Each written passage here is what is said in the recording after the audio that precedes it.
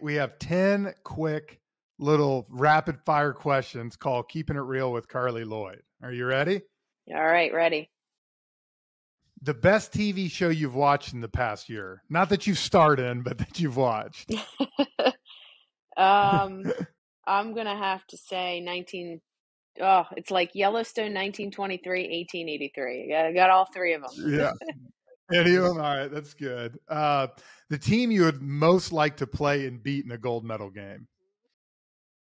Ooh, um, probably. Gosh, that's a hard one. Uh, I don't know. probably, I, I think the way England's playing right now, if I were still on the team, they'd be the team I'd want to beat. Nice. If you could have dinner with one person you've never met, who would it be? Mm. One dinner. Uh, I don't know. I'll, I'll go with Kevin Costner since we're on a yellow Yellowstone theme. Perfect. Good good answer. Your favorite uh, fast food restaurant? Probably Shake Shack. Oh gosh, yeah, I love Shake Shack. It's so good. Uh, your favorite stadium you've ever played in?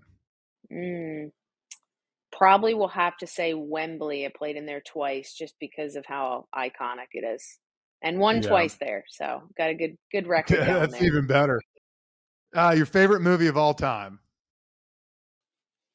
Oh man, of all time, uh, probably I'm gonna have to say Goonies. Oh, and that's such a good. I actually, my daughter watched it for the first time a couple weeks ago. It's so oh, good. nice.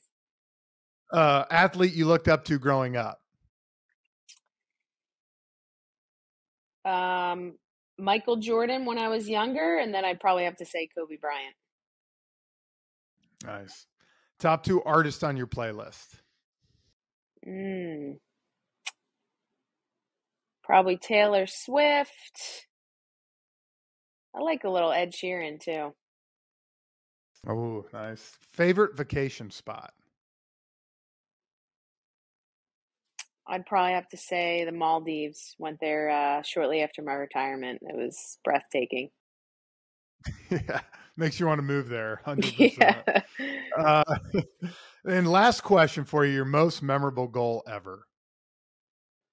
Have to say my midfield shot in the 2015 World Cup final wasn't necessarily the best goal I scored, but haven't scored another one like that. So Awesome. Well, this is called Keeping It Real with Carli Lloyd.